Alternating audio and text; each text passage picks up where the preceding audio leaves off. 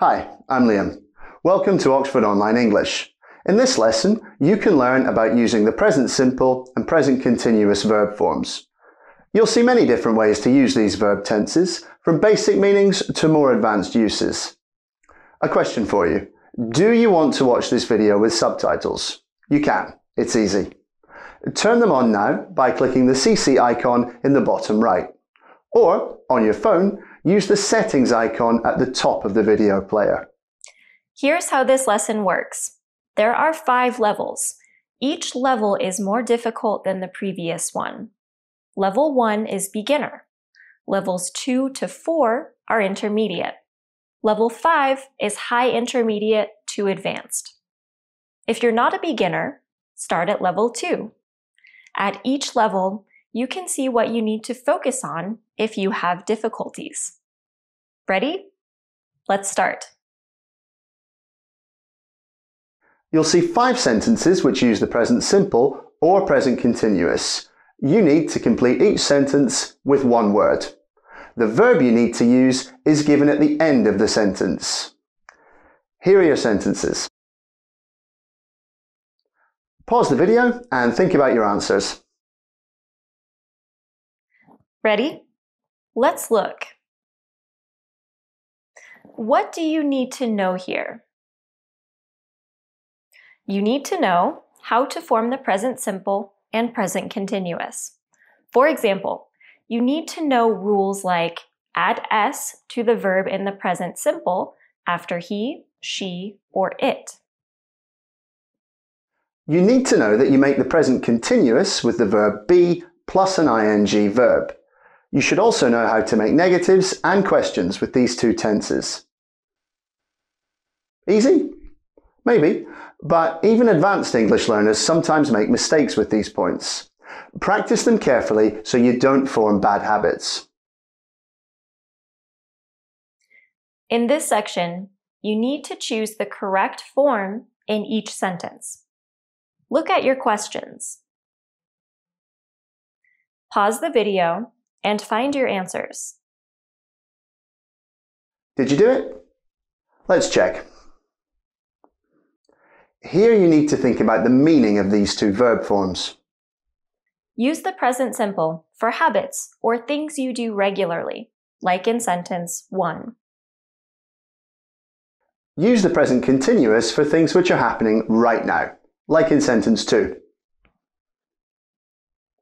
You also use the present continuous for things which are unfinished, like in sentence 3. For facts and things which are generally true, use the present simple, like in sentence 4. If you're describing a photo or a picture and want to say what's happening, use the present continuous, like in sentence 5. If you understand these ideas, you'll be able to use the present simple and the present continuous in many everyday sentences. However, there are many more things you need to know to use these verb forms well. Here we have a different challenge for you. Some of these sentences are correct, some are incorrect. Your job is to find the correct sentences and correct the mistakes in the others. Pause the video and do it now. What do you think? How many correct sentences do you think there are? Could you correct the mistakes in the others? Let's look together. Sentences 2 and 5 are correct. The others all have mistakes. Now you can see the mistakes and the corrections. Can you explain the problems with sentences 1, 3, and 4? Why are they wrong? Verbs of sensing, like smell, see, or hear, are not generally used in the present continuous. In sentence 1, even though you're talking about something which is just true now, you use the present simple because you're using a verb of sensing. Smell. Sentence 2 is correct. Use the present continuous to talk about arrangements in the future. This is common for talking about social plans. You can also use the present simple to talk about the future, like in sentence 3. Do you know why you use the present simple here? Use the present simple to talk about future events which follow a timetable. This includes things like trains, planes, meetings, appointments, and lessons. Verbs of thinking or speaking, like promise, aren't generally used in the present continuous. Can you think of other verbs like this? There are many, but know, realize, remember, admit, and state are almost always used in the present simple, even if you're talking about something which is happening now. In general, you can divide verbs into two types action verbs and state verbs. Action verbs, like run, do, or cook, can be either simple or continuous. State verbs, like be, know, or love, cannot normally be used in the present continuous. There are exceptions to this, but it's a useful general rule to remember. Finally, in sentence 5, can you explain why you need to use the present continuous? Use the present continuous to describe changing situations or to talk about trends. This is useful if you need to talk about statistics. For example, sales are falling by an average of 2% annually. There's a lot of information in this video. Remember, you can always review a section if you need to, or take a break and come back later. Now, let's move on to level 4. Level 4 is a little different again. Look at your sentences. This time you have two jobs. First, are both forms possible? In some sentences you can use either the present simple or the continuous. In at least one sentence you can't use both. Where can you, or can't you, use both forms? Secondly, where you can use both forms, is there a difference in meaning? If so, can you explain it?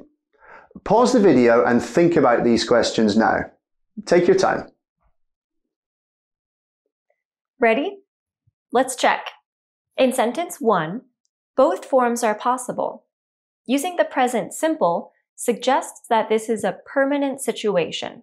She works there because this is her long-term job, and she'll probably continue to work there.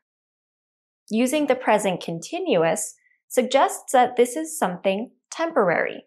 She's working there for a short time and she'll probably be working somewhere else soon. In sentence 2, both forms are also possible. Using the present continuous expresses that you find this habit annoying or strange.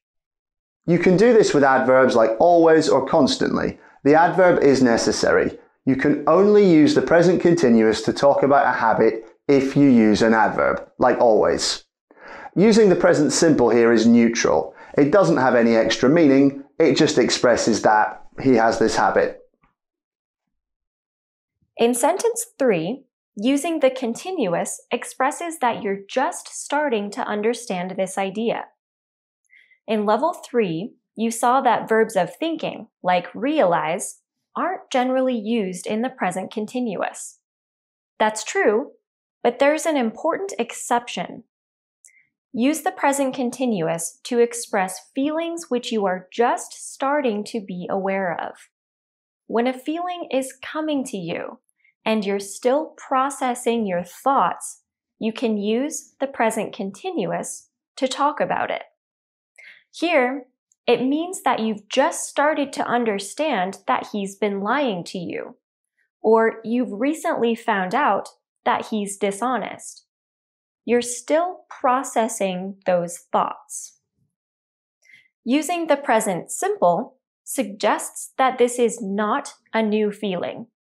It suggests that you understood that you were wrong to trust him some time ago. Sentence 4 is similar to sentence 1. Both forms are possible, Using the present simple suggests that this is a more permanent situation, while using the present continuous suggests something more temporary. For example, If they've only just started playing tennis and they're both really lazy and you're sure they'll give up soon, then you'd probably use the continuous here. But if they've been playing tennis on Fridays for years and you know they're both really enthusiastic about it and are likely to continue for a long time, then you'd use the present simple. Sentence 5 is different. Why? Because there isn't a difference in meaning. There's another point. While it's possible to say, my English gets better year after year, using the continuous sounds better. You're talking about a changing situation, like you saw in level 3, and it's more common to use the continuous in this case. Up to now, you've seen many different ways to use the present simple and continuous. Are you ready for the hardest challenge? Here are your sentences. Your task is simple. Put the verbs into either the present simple or the present continuous. You know what to do. Pause the video and find your answers. Ready? Let's see how you did. Did you get them all right? If so, great job. If not, don't worry. These sentences test some more difficult and specialized uses of the present simple and continuous. In sentence 1, do you know why you use the present simple? A question. What is this sentence? Who's saying it? This sentence sounds like live commentary on a football match. When commenting on live events, it's common to use the present simple even for things which are happening right now, when you would usually expect to hear the continuous. In sentence 2, did you think it might be correct to use the continuous? The first part of the sentence, he never listens, sounds like an annoying habit. You saw in level 4 that you can use the continuous to talk about strange or annoying habits. But you can't use it here. Why not? It's because you can only use the present continuous in this way with specific adverbs. Always is the most common, and you can't do this with never. In sentence 3, you can use present tenses to tell a story, especially in informal conversation. In most cases, you'd use past tenses to tell a story, but you can also move the past tenses into the present. Past continuous becomes present continuous. Past simple becomes present simple, and so on. This can make your story sound more vivid, as if it's taking place now. For sentence 4, where do you think this sentence comes from? Notice the capital letters and the fact that it doesn't have a full stop at the end.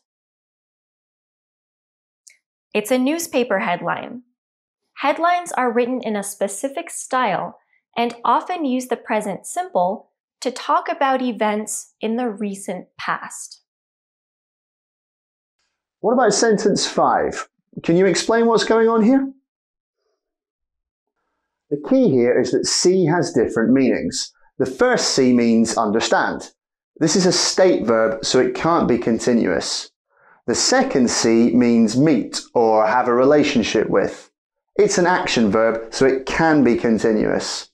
There are other verbs like this, where there are multiple meanings, some of which are actions and some of which are states.